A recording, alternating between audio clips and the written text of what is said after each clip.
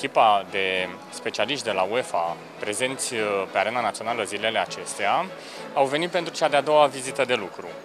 La prima vizită de lucru, care a avut loc în perioada 2-5 mai 2017, s-a făcut o primă luare la cunoștință a condițiilor tehnice și a condițiilor generale uh, în care se găsește, se găsește arena națională. Acum am intrat în profunzimea unor subiecte care țin de funcționalitatea, de caracteristicile, de sistemele care se găsesc în și în jurul arenei naționale. Am uh, detaliat uh, unele planuri pe care urmează să le implementăm împreună la Arena Națională. Ca să vă dau un exemplu, am discutat despre locurile în care se vor găsi centru de acreditări, centru pentru voluntari, uh, locurile în care se vor găsi uh, birourile jurnaliștilor, cortul pentru ospitalitate. Iarăși s-a analizat structura de rezistență a acoperișului, de exemplu, s-a analizat sistemul de alimentare cu energie, utilitățile, apă, canal, servicii de salubritate, o multitudine de aspecte de detaliu foarte importante care țin de buna organizare și buna desfășurare a uh, celor patru meciuri din cadrul turneului final la București.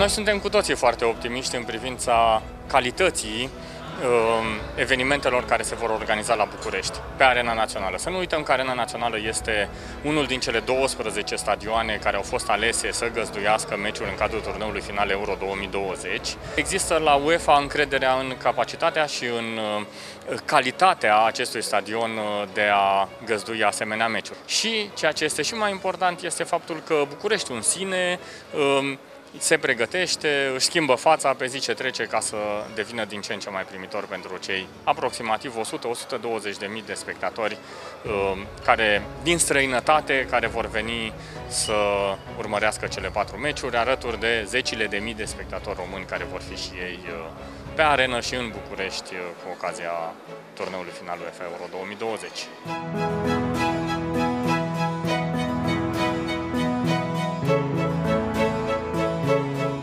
Primul și în primul rând, ceea ce e de precizat uh, cu foarte multă fermitate este sprijinul pe care îl primim de partea primăriei municipiului București. În dubla calitate pe care o are în proiectul UEFA Euro 2020. Este, pe de o parte, oraș gazdă București, dar pe de altă parte, administrația Bucureștiului are în proprietate și arena națională. Un lucru foarte important pentru noi, pentru că se facilitează foarte mult uh, um, implementarea diverselor măsuri care trebuie întreprinse ca să organizăm uh, corespunzător turneul Uh, final. Haideți să vă dau un exemplu foarte simplu. Uh, Arena Națională este locul în care se vor strânge la fiecare meci aproximativ 50.000 de persoane să-l urmărească, da?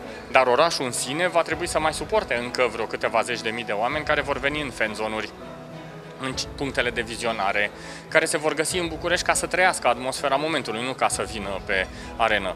Iată, Uh, administrația Bucureștiului este cea care uh, se ocupă și de funcționarea arenei naționale, dar și de funcționarea fanzonurilor și a zonelor de vizionare. Uh, în ce privește celelalte autorități, autoritățile guvernamentale, da? ne referim aici la ISU, la, la jandarmerie, la serviciile de ambulanță, la, nu știu, furnizorii de utilități, de electricitate, de exemplu. La fel, îi avem alături de noi și să luăm exemplu iarăși al uh, autorităților uh, Uh, polițienești, uh, ei deja sunt implicați în grupuri de lucru internaționale, în grupuri de lucru dedicate proiectului UEFA Euro 2020 la Consiliul Europei, de exemplu la UEFA. Adică aici e o foarte bună uh, colaborare și un foarte bun schimb de, de informații, de know-how dedicat bunei desfășurări a turneului final.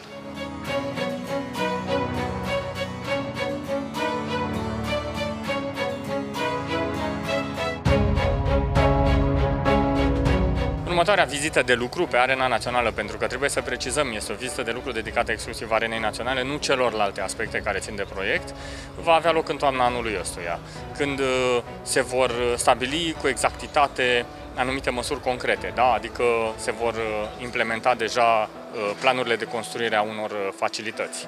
Se vor stabili exact funcționalități da? cum ar fi, de exemplu, sistemele de televiziune uh, cu circuit închis nocturna, da? atunci în toamnă se vor întâmpla chestiuni uh, materiale concrete. Acum, uh, în curând, în luna iunie aproximativ, vom primi raportul uh, vizitei și vom vedea care sunt aceste planuri, care sunt aceste măsuri pe care ne așteptăm să le implementăm ca să aducem Arena Națională la standardele UEFA Euro 2020 pentru că sunt standarde diferite față de celelalte competiții organizate de UEFA.